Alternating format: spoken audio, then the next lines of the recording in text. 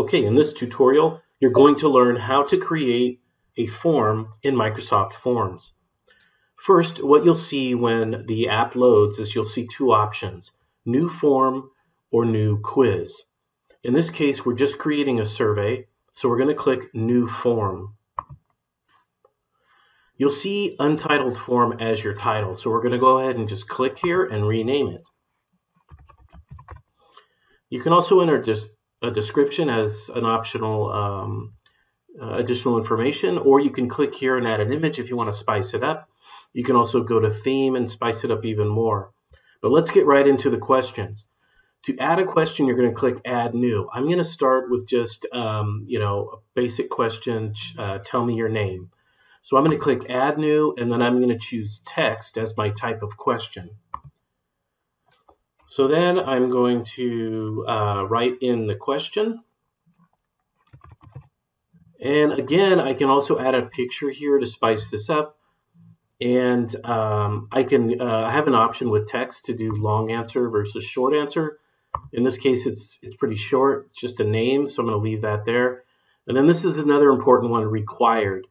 Uh, we want to require all these questions if we want definitely need a response to each one. If you don't require it, they could potentially skip over it and still submit. All right, so that's my first question. Now I'm going to go on to my next, and this time it's going to be a multiple choice. So I'm going to click Add New, and then I'm going to choose Choice as the type of question.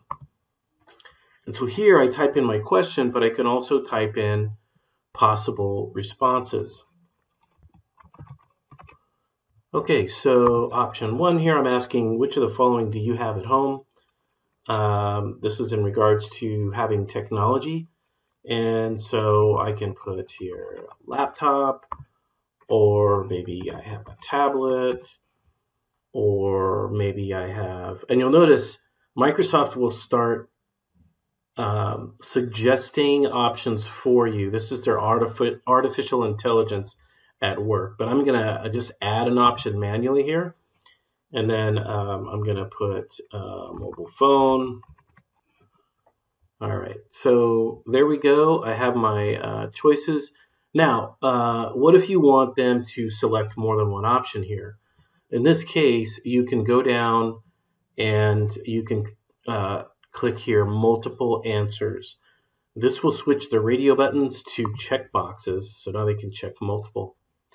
And notice it's already marked it required. Again, the artificial intelligence at work it knows I marked the first one required and automatically marks the second, which is really nice. And then you can, you can go on and on and add more questions. Um, you also have a rating type question, date. Uh, you have a Likert scale type question. You can even have your audience upload a file.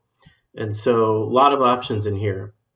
So you're going to create all your questions and then um, get this thing ready to go. And in the uh, next tutorial, you're going to learn how to share your, um, or rather, share a link to your survey so you can get it out to your audience.